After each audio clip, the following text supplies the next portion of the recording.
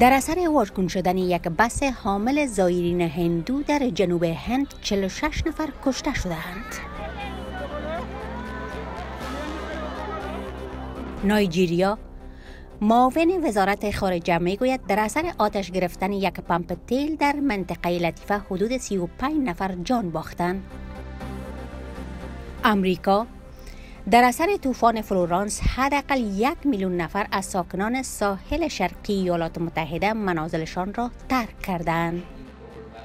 استرالیا مخالف فشار ژاپن روی ختم تحریم چندین ساله شکار تجارتی نهنگ است.